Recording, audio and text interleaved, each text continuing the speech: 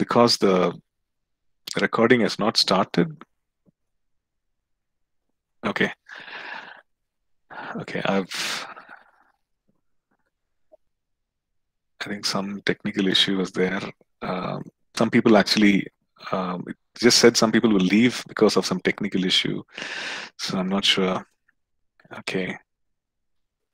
You can see and hear you well, Pastor. Yeah, yeah. Uh, but I, I, just saw that Tarun and someone else also. Uh, it just gave a prompt saying that they will, you know, they'll be leaving the meeting because of some technical issue.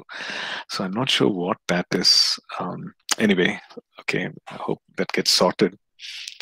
Okay, so um, yeah, so let's continue with the homiletics. We've been looking at biblical preaching, and last class we looked at some of the qualifications right? So what is the qualification? We spent a lot of time uh, looking at each of those, um, each of the people whom we, uh, you know, uh, looked at Stephen, we looked at uh, Philip, um, especially Philip. We looked, we just kind of followed through uh, right from the time he's mentioned, uh, and then you know we looked at Acts chapter 21, verse 8, where he's mentioned again. He's in Caesarea and he's, he's got a family and his daughters are there in ministry and so on. So we, um, you know, we looked at that as well. Um, um, then when we when we looked at the qualifications, right? When we looked at um, uh, the qualifications of a person who's to be a preacher or to be a communicator of truth. Um, the first thing was, uh, you know, we, we looked at several things. And the first thing was that they need to be born again okay they can, obviously they cannot be born again and if they're not born again then they're not going to receive things of the spirit. Okay um, that's another thing you know uh, uh, they need to be born again. But you know because of the way uh, church kind of unfolded you know we know that church uh, became a feeble entity in the dark ages and then the restorative moves of god. And we, we see that you know in certain let's say, how do I say, in certain circles, in certain, um, uh, uh, you know, uh, certain uh, places where there are churches, that church can be a formal thing. You know, it can still be uh, a formal uh, entity without the life of God, you know, because the word of God has not been given precedence, and it's just it's it's it continues to exist as a as an entity, it's there as an institution, and and so on. Uh, I've not come to the notes yet, Charles. It's I think um, well, it should be. Uh, we are going to look at chapter five today, which will be page fifteen. Okay, so we're still just reviewing um, last class. So, yeah. So, um, um, so, so, so that is the um, so the reason for you know the reiterating that that uh, uh, one uh, if one is to be a preacher one is to be a preacher bearing fruit and uh, he needs to be a born again believer. Um, another thing that we see is that uh, a natural man does not receive the things of god. Okay we see that in first corinthians and uh, we see that um, the, these truths are actually spiritually discerned. And and they have to be spiritually discerned and quickened by the Spirit of God. Uh, for example, if you look at uh, uh, you know First Corinthians chapter two and uh, verse um, you know verses 13 and 14 okay the things that we also speak um, these things we also speak not in words which man's wisdom teaches but which the holy spirit teaches comparing spiritual things with spiritual but the natural man does not receive the things of uh, of the Spirit of God, for they are foolishness to him, nor can he know them because they are spiritually discerned. Right? Nor can he know them because they are spiritually discerned. So, um, so and then we looked at the other things, right? Uh, like a person needs to be spirit filled, spirit taught, which means knowing um, uh, how to be led by the Spirit of God, or journeying with the Spirit of God, being obedient to the Spirit of God, um, uh, not only just baptized and filled with the Spirit, and uh, but also uh, to be led by the Spirit, to make our choices um, or to yield uh, and make choices based on the leading of the Spirit. Okay. And uh, called commissioned by god you know you have uh, uh, you have a clear call. Okay this is what you've called for. This is what you called to do. And and um, and we know that some of these things are progressive. But however you you know that okay this this is in this season of life this is where you are uh, we are you are called and this is what you are um, you know doing right now. So um, so that uh, and then a person of prayer. Okay uh, character and then a person of prayer uh, student of the word a person using the gifts. Okay so these are some things that that are overlapped by other um, other uh, theologians who, who list the same thing right? Um, so uh, to sum up it would be, and put it in simple words it would be uh, a man or woman of god a person a student of the word a person of character a person of prayer and a person of ability ability to teach. Okay so we can also build on that. So so the thing is this that these are qualities that we can develop in our in ourselves. Like we we see that okay I'm, maybe i'm lacking in this then i can you know look into it and say okay i, I need to develop you know i need to develop this. I need to give invest more time and develop this. Right so we can do that. Okay um, right so let's look at uh, chapter 5 which is um, the ministry of the word. Okay, the ministry of the word and the importance of it. So we see that uh, God's word is powerful. Okay? God's word is alive. God's word is the truth. Okay, and um, yeah, I mean, as students of the word, we, we refer to the Bible, we check the Bible, we see this, and we've experienced the power of the truth of God's word right? Uh, looking at um, Hebrews chapter 4, uh, very clearly describes what the Word of God is like. Hebrews chapter 4 and verse 12 For the Word of God is living and powerful and sharper than any two edged sword, piercing even to the division of soul and spirit, and of joints and marrow, and is a discerner of the thoughts and intents of the heart. So that's uh, um, it's Hebrews 4 and verse 12. So this is what God's word is. Um, it it is alive, it is powerful, it's living, and therefore the minister of God or the one who's communicating uh, the the the message uh, needs to do so from the word of God. Okay, uh, because this is what God's word is. It's it's it's li- alive. It's powerful. It's it pierces. It's sharper than a two-edged sword. So the truth of that, you know, pierces even to the division of the soul and the spirit, um, the thoughts and the intents of the heart. So I mean, I'm really able to know, um, based on the word of God, because God's word is my reference, I'm able to know, okay, I'm able to make that distinction. Okay, this is of my soul, this is of my thought, uh, this is just a soulish thing, and this is of the spirit. It's much deeper. You're able to even make that distinction because of the word of God. If the word of God is in us and it's, you know, uh, we are, our mind is renewed to the word of God. So, um, powerful, alive, and we minister. And God works by the word of God, by His word, right? Um, so He operates through the word. Uh, you say, okay, eh, eh, why, why do you say that, right? Again, if you look at, um, you know, Hebrews 2, and um, let's say we, we see, uh, read verses 3 and 4, Hebrews 2, verses 3 and 4. I'm sorry, these are not in the notes. Um, Okay, so we see, how shall we escape if we neglect so great a salvation, which at first began to be spoken by the Lord and was confirmed to us by those who heard him? God also bearing witness both with signs and wonders, with varying various miracles and gifts of the Spirit according to his own will. Okay, so what is he bearing bearing witness to? Is he's bearing witness to the message that was preached, the what is spoken, is bearing witness, testifying to it with the power. The message is borne witness or being testified to with the demonstration of the power of God. So God works, He testifies to the word that is spoken, the word that is preached. He's careful to watch over the word to perform it, as we see in another place, right?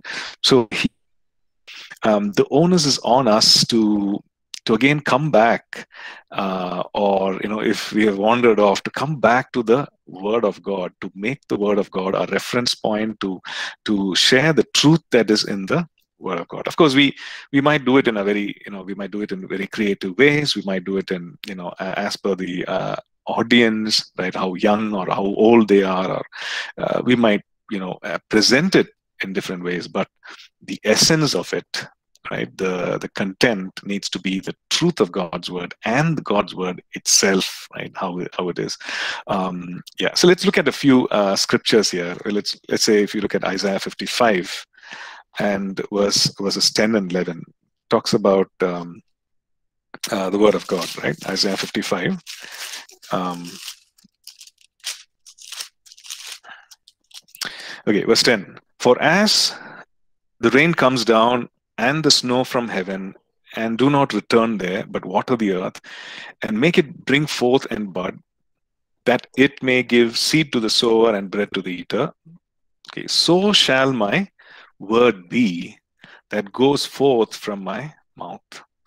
It shall not return to me void, but it shall accomplish what I please, and it shall prosper in the thing for which I sent it, or the purpose for which I release that word, whether it's a creative word, whether it's a healing word, whether it's a delivering word, whether it's, you know, God is saying that this is this is how my word, this is the nature of my word right it it goes forth it brings change uh, and the purpose for which that word i release it god says uh, it will not return void it will not with, uh, return without fulfilling that okay so uh, he's talking about the word uh, Ephesians, uh, like Hebrews 4, you know, we saw it's alive and powerful and so on. Let's look at um, uh, one more one more verse, which is uh, First Thessalonians 7, verse 13.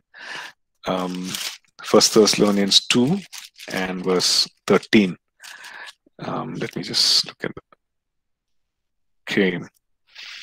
Um, says, For this reason, we also thank God without ceasing, because when you received the word of God, which you heard from us, you welcomed it not as the word of men, but as it is in truth the word of God, which also effectively works in you who believe. So the word of God working effectively, and there's another ingredient which is faith, right? Which uh, effectively working in you who believe. But the basic substance or the basic material is the word of God. Uh, word of God, you know, released or spoken and and uh, and and the power of it and the transformative power of the word of God being experienced by the person who believes, who receives, and who believes, because God works, God performs, He watches over His word to perform it, right? And uh, and the beautiful thing is that um, you know God has chosen us, human beings, to be communicators of the word, right? So it it comes out through human personality right? It uh, it comes out through human personality uh, and it's uh, delivered creatively. Nevertheless when it's god's word and uh, the spirit of god confirms it with the power of god then you know the the the end result is fruitfulness or end result is that this this effectiveness right? Um, and the objective is that we share the word so that there will be. Uh, it's not that oh i share it or uh, let me get it done and over with but it's it's shared with the intention uh, uh as purposed by god that he wants to see change you know in people's lives. And it, it wants to add to people's lives. It could be the purpose could be you know manifold. It could be add something. It could be to remove something you know. Because the word of god is that you know it, it can to break down something um, very interesting right? I'm sure you would have seen this verse jeremiah 23 and verse 29 okay jeremiah 23 um, 23 and uh, verse 29 So God describing how his word is, right? He's, he's saying, Is not my word like a fire, says the Lord, and like a hammer that breaks the rock in pieces. So he's saying, Is not my word like a fire? A fire, you know, there's immediately there is change. Uh, you see it, very visible, it's burning and burning away something, maybe purifying something, and uh, and that's how God's word is. So God is saying, "Is not my word like fire that burns?" And He's also saying, you know, is and like a hammer that breaks the rock in pieces. So God's word is like a hammer, and when the hammer hits the rock, a rock is hard, but the hammer is harder. When the hammer hits the rock, it breaks that down into pieces. But you know, there's a difference, right, in in uh, in the way the hammer works and the way the fire works. The end result is different, um, and also we see that a hammer maybe maybe we have to swing the hammer a couple of times, right? We might have to wield the hammer and swing it a couple of times, right, and not give up and persist on swinging the hammer, persist on using the hammer. But we can be sure that it could be the highest of the mountain, but you know, if you're going to swing at it, if you're not going to give up, and uh, it's going to be a rub. Okay, um, so God is saying that His word is like this. It's uh, it's like a hammer. It's like a it's like a fire.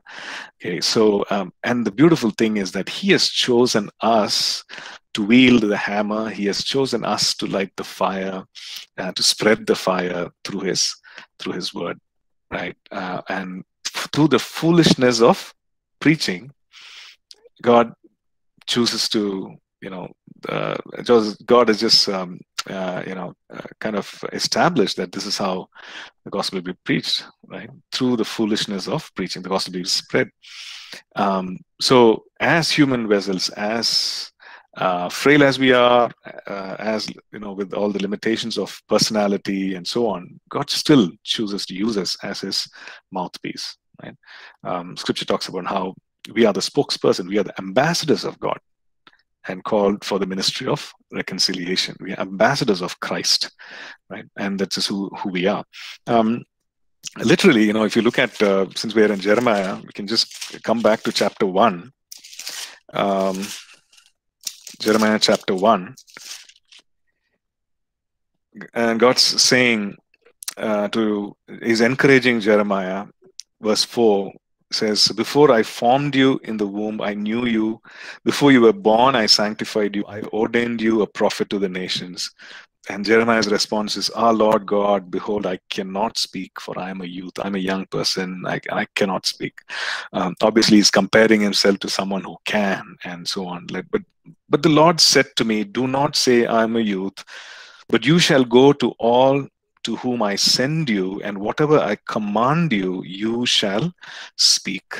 Okay, and do not be afraid of their faces, uh, for I am with you to deliver you. So he's saying, don't be afraid of their faces, don't be afraid of their expressions, don't don't be intimidated by any of that. I'm here to deliver you. Verse 9 and 10, very interesting. Then the Lord put forth his hand, touched my mouth, and the Lord said to me, I have put my words in your mouth. See, I have this day set you over the nations and over the kingdoms to root out and to pull down, to destroy and to throw down, to build and to plant. To root out, to pull down, to destroy, throw down, to build and to plant. Literally, you know, what the hammer, what he was talking about, the hammer and the fire, and, and also to establish and to build, right? Not just to pull down, but to establish and to build. And he's saying, I have put my words in your mouth. So he's looking to us be people who would speak his word, like who will communicate his truth.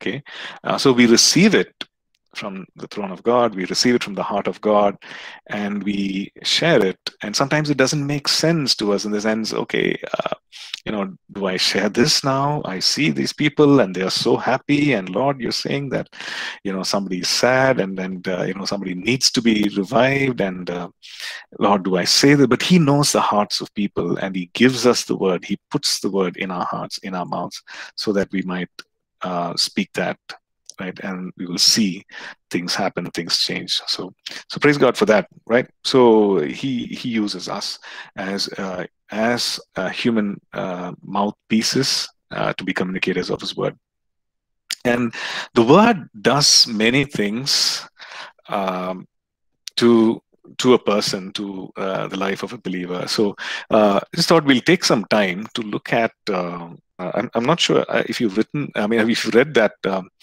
the um, the publication, the book uh, called uh, God's Word, the Miracle Seed, right? Uh, and you can actually check that out um, in, in, on the website and probably download it. I'll you know maybe I'll put it in the classwork section also.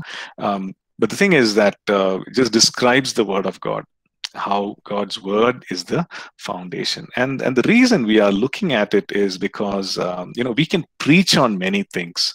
Uh, we can preach on many things which catch our fancy. We can preach, uh, you know, um, uh, we can communicate many things. We can share many things, interesting things. Uh, and, uh, but if we are not led by the Spirit and if the truth of God's word you know, I'm, I'm just saying that because it's not just we go and shoot down people with scripture, you know, da, da, da, okay, John 3.16, and then just, you know, it's not that, but it's the conveying the truth of scripture. Uh, if you're not doing that, then there is really no transformative power, right? So for us to be word-based, okay, for our worldview uh, to be shaped by word so that it's a word view. Right? A world view is the word view. Okay, really, uh, that's a journey that all of us uh, would need to make, uh, and uh, you know that's a journey that uh, uh, that would really result in greater maturity.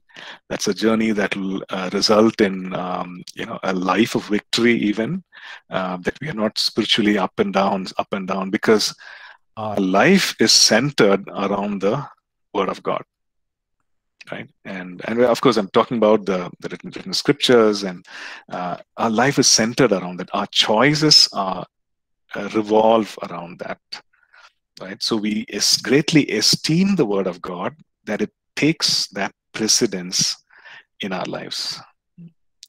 Um, and that's something that uh, you know that's a journey that uh, all of us need to make. And um, that's something that will really you know you know when you meet a believer who is um, who is word based or who's word centric right? Whose worldview is really the word, word view and um, and you can actually spot that very easily very quickly right?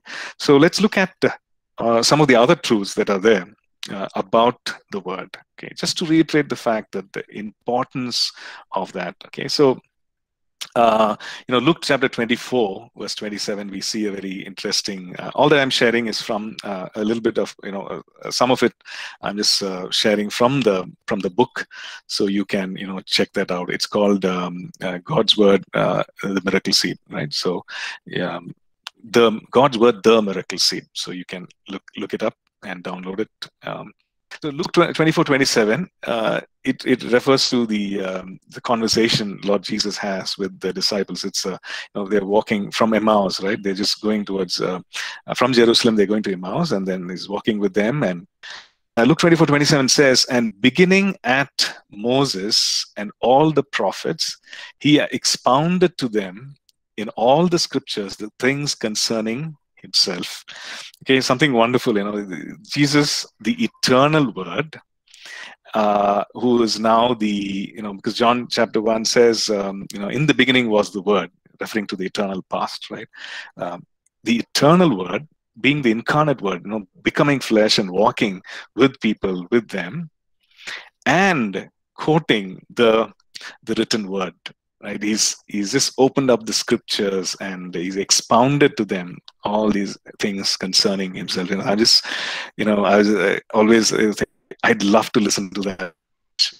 You know if in heaven there's a podcast if in heaven you know that's one thing that i'd love to hear uh, you know listen. So here we see you know this kind of a, that the the living word himself the incarnate word himself used the written word.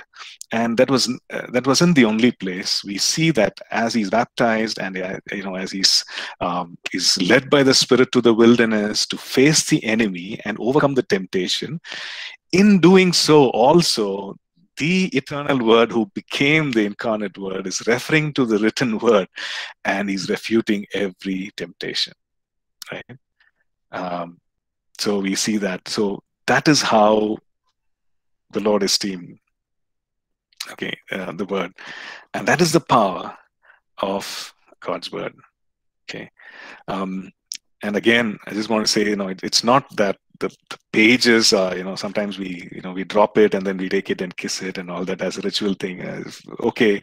But the thing is it's not like a it's not like a cross which you you know use to fend off dracula you know just like in the movies. But really it's the the word the truth which is there which is uh, life changing and god witnesses testifies to this word and he he he testifies, uh, witnesses with the demonstration of power. Okay, so let's look at a few other words. Um, people who were in awe, you know, like this, like the psalmist, Psalm 119 and verse 18 says, uh, "Open my eyes that I may see wondrous things from your law."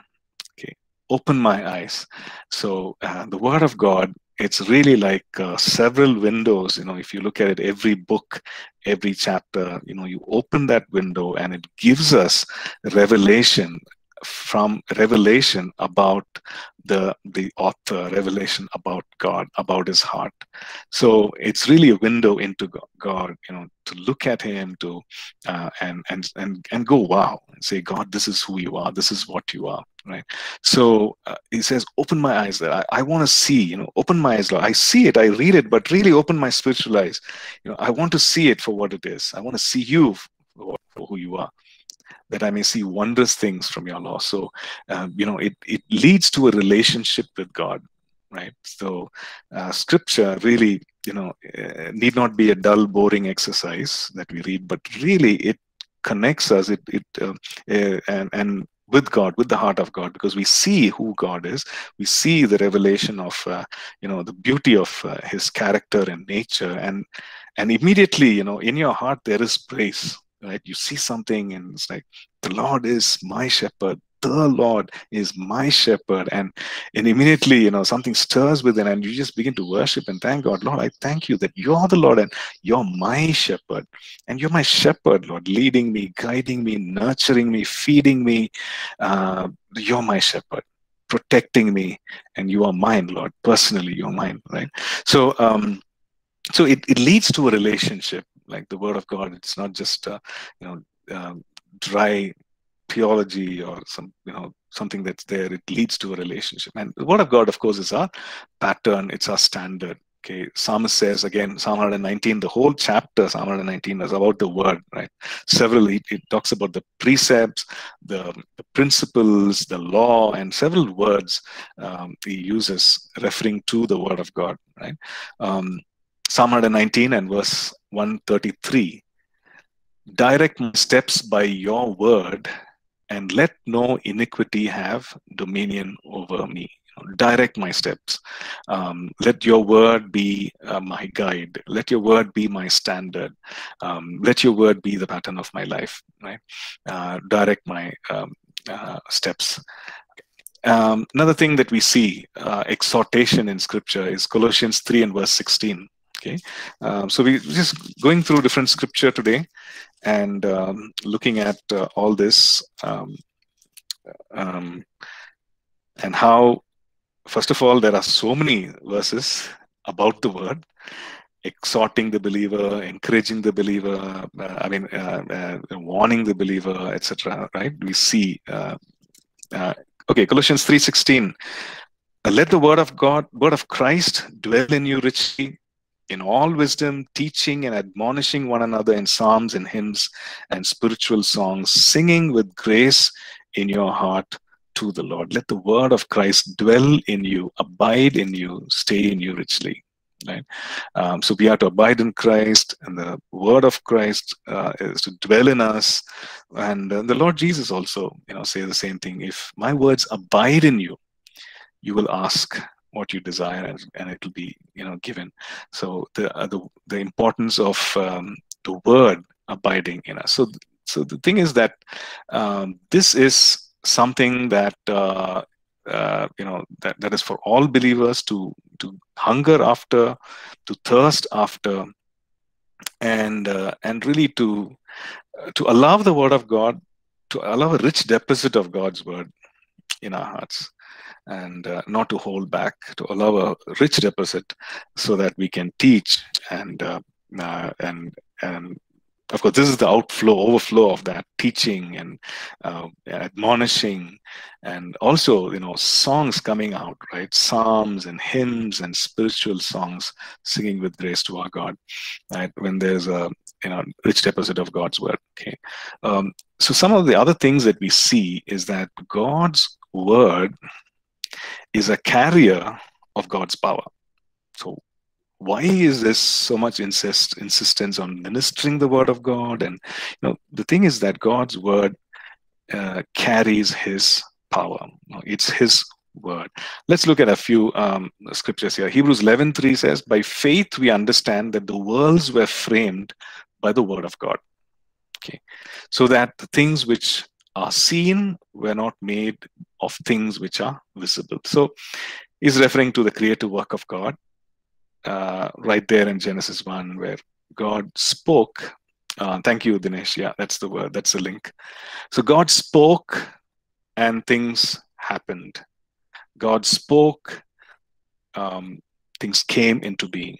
Okay, so Hebrews 11, uh, the writer of Hebrews in verse 3 is testifying to that, pointing to that and saying, By faith we understand that the worlds were framed by the word of God, so that the things which were seen, you know, all that I touch and see, something these are tangible, these were made by things which were invisible, right?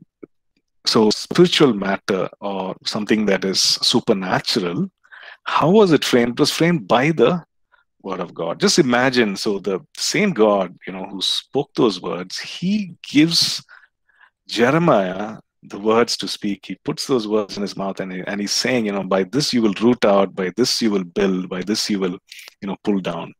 That's the power of God's word, you know. Um, sometimes uh, we wonder, you know, the, the most powerful thing is some idea which is stuck in our head, right? Uh, thoughts, strongholds. Because outside things we can somehow, in the physical, in the natural, we can somehow change, we can do it. But if it is inside, a thought pattern, a stronghold. That is what really drives the action, right? Now, and for a believer, a believer is born again. Uh, the Romans 6 says that the body of sin has been done away with. There's no more. His body is not. He's, he's not empowered by sin anymore, but he's a slave of righteousness. Know, all that reality is there. But in his mind, he is still carnal. Right? If the thoughts there are still carnal, then the behavior is going to be carnal.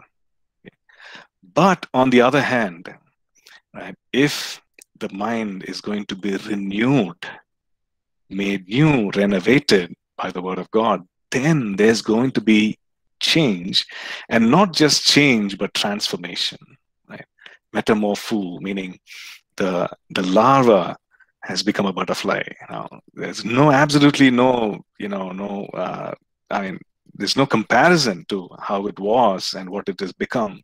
Comparison to how it started and the finished product, no change. I mean, there's no comparison. You know, drastic change, transformation. So that's the power of God's word even those most stubborn things in our minds, you know, those stubborn fears, the most stubborn of strongholds, which keep us in bondage to addictive patterns of sinful behavior or, or patterns of um, or patterns of thought, which which lead to behavior that we are not. But the Word of God can change, transform that. This can change, transform that, right? So, so the so word of God is really a carrier of His power. If it is, if the word of God is received, believed upon, you know, First Thessalonians 2, verse 13, the verse that we saw just now, is, is works effectively in those who believe, meaning it's it's going to be operative. It's going to be effective. It's going to be operative. It's begin to it's going to start working in those who believe, right? Um, so uh, so that's uh, that's the thing. So go back to the word you know um, use the word of god and let our content let the preaching be centered around the word of god. And um, well you can make it as creative as possible but don't dilute that. Don't compromise on the word of god because this is uh, this is what it is right?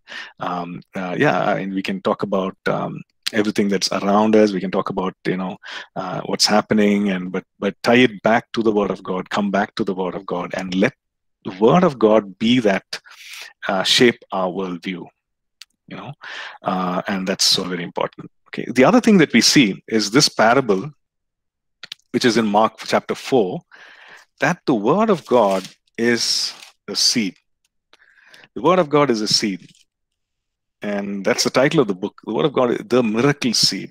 Meaning the word of god is powerful it's uh, supernatural it's it's got power uh, is a carrier of god's power and the word of god is a seed which means that the word of god when it's uh, planted when it's rooted when it's nurtured then it bears it bears what it's supposed to bear brings about change right? So it can be it, it's 30 60 and 100 so we, we, we look at the you know the parable.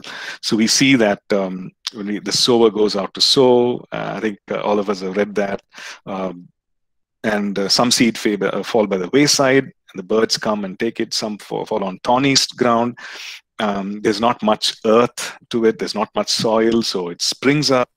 And uh, and then when the sun comes out it's scorched again scorched and then dries out withered and some seed fall among thorns and the seed the thorns grow up they choke it and uh, it yields no crop. And the other seed fall on good ground and yield crop uh, and giving an increase manifold like 30 60 and 100 so and the lord uh, taught this parable and gave the explanation of the parable and then he says you know the the uh, and he's and he give, gives something you know before he explains he says you know do you not understand this parable? How then will you understand all the other parables? You know he's saying you know this parable is key to unlock all the parables because it's about the word and the and the work of the uh, word in a person's life. If a person will receive it and if it's on good ground and and, and so he's saying you know this is key. You know this is uh, this is like a key which will unlock all the other parables. You need to understand this so he, he begins to explain and he says, the sower sows the word, which means the seed is the is the word. Right? The seed is the word. And and look at this. The seed is the seed of the word is so precious. The seed of the word is so, or or in other words, uh, birds of the air, they are referred to Satan, right? Um, Satan immediately comes. Immediately comes and takes away because Satan knows the value of God's word. You know, sometimes I think it's knows the value of God's word more than the believer, right? Satan comes, takes away, knowing fully well that if a believer is going to receive the uh, seed of God's word in his or her heart, and if it's going to be nurtured, then that person is going to wreak havoc in Satan's kingdom, in the kingdom of darkness. Their lives are going to be set free. Uh, the believer himself, uh, uh, herself, is going to be full of faith and power and unstoppable. No matter what is happening, they're going to be focused on the word of God, the promises of God, what He has spoken. So they're going to keep going, just like how we see the early church and how, you know, like Paul saying, For me to live is Christ and to die is gain. You know, that, that kind of a person is unstoppable right? What will he do? To live is Christ, to die is gain. And people testify and saying that these guys who turned the world upside down, they have come here also. And who are these people? Well, not some great people, some everyday folks who gave themselves undeservedly.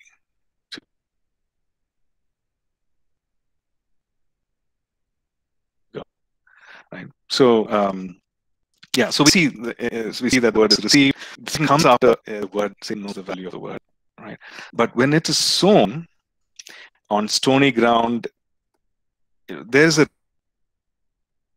gladness. Wow, that's God's word. Fantastic, wonderful. I receive it, and then and then there is persecution, and there is no endurance, and you know it, it just becomes ineffective you know, because you just let go of it, right? And sometimes there are things like the lusts of the eyes, the lust of the flesh, pride of life. You know, it talks about um, the cares of the world, the deceitfulness of riches, and desires for other things. They also choke the word because we take our eyes off. Uh, life does not become word centric. Uh, in, instead, it has become maybe centered around lust, some, centered around something else that is feeding us. Right. So the desire uh, the appetite for the word uh, is, is way down because there's some other appetite which we are nurturing and which we are full, trying to fulfill, right? Trying to satiate. So uh, we're going after that, and then obviously these thorns, these things, they choke the word. But those on good ground hear the word, accept it, and bear fruit. Okay, so the word of God really uh, is, a, is, is a miracle seed. It's the it's uh, it was sown and it bears fruit. And and um, you know if you look at the uh, uh, the the the book you know it talks about what kinds of seed can be sown. You know it's, it's wonderful if you can just uh, read through it right? Personally you'll be edified. And and of course it's something that you can apply uh, in your own lives also. But uh, the, the reason um, you know just sharing that is that it's um, it talks about uh, it, it, really helps us to change um, the way we minister. Okay, change the way we minister. There's another section on meditating of God's word. Okay, how do you meditate on it? How do we, um, you know, spend time thinking deeply about it, and how the word of God needs to have place in our in our mind. We need to have that mind space for the word of God, and how we can visualize it. You know, uh, and like how we studied in faith, how we need to speak it, think about it, speak it, uh, declare it, and so on.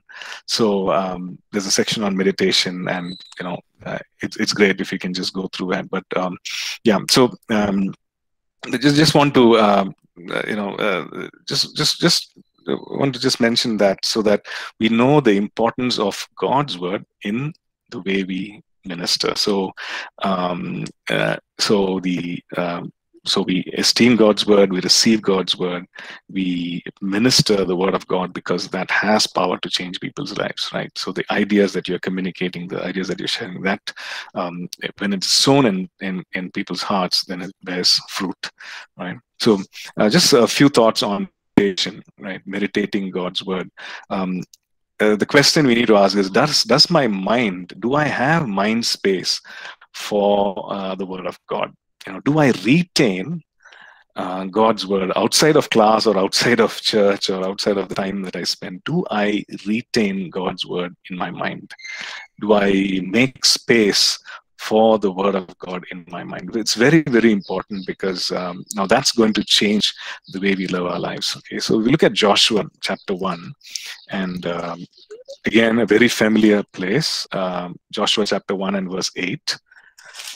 Um, God giving instruction to Joshua, and um, and uh, the the reason for his instruction is that uh, it's of course again leadership. It's a great task, uh, responsibility, and uh, God speaks to him. Moses is not there. Now it's after the death of Moses. God is, uh, you know, and he, he, and he, and the thing that he instills in him is this: the word. Right? It's a great responsibility. It's uh, they've grown to be a big nation. No. And there are people who grumble, who complain, and Joshua has seen it firsthand. Right? But he cannot turn back and look at Moses anymore because Moses is not there.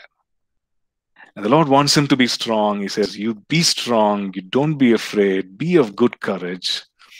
And he gives him this instruction This book of law shall not depart from your mouth, make it part of your speaking.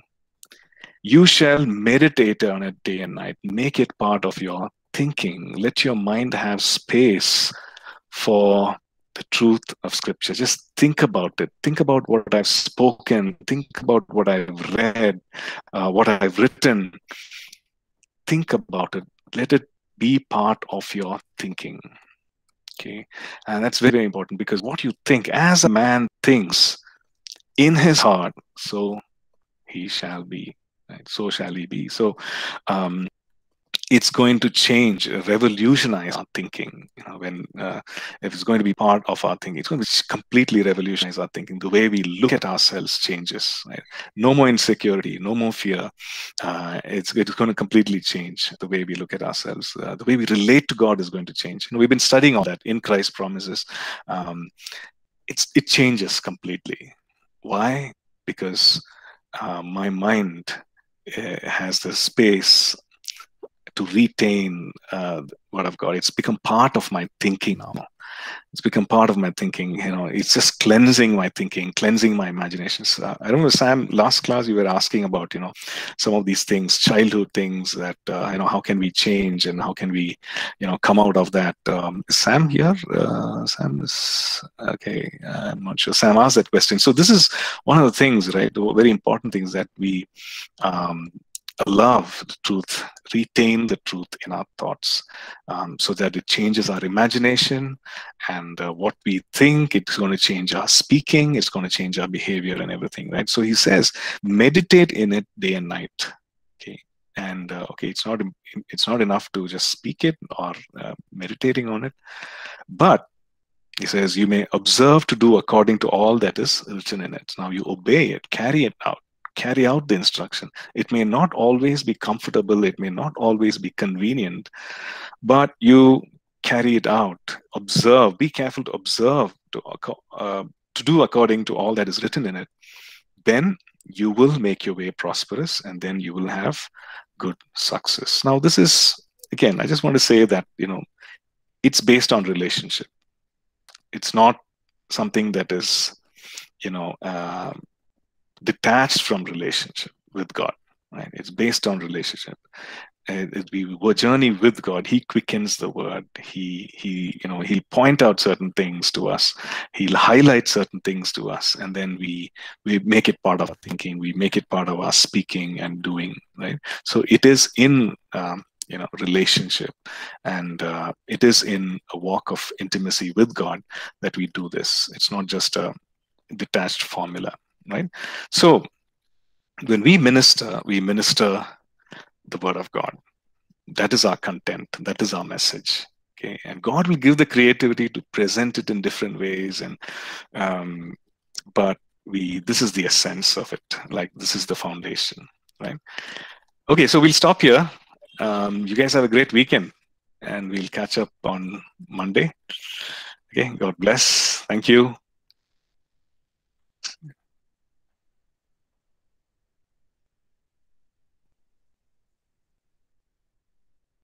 Thank you, Pastor.